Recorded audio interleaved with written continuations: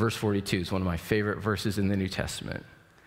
And he, being Andrew, brought him, being his brother, Simon, to Jesus. See, the, the reason why we want to bring people to Jesus because we have this convictional belief that encountering Jesus brings change in your life.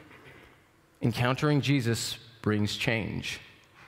He has the power and the ability to transform your life, to help you become the person He created you to be.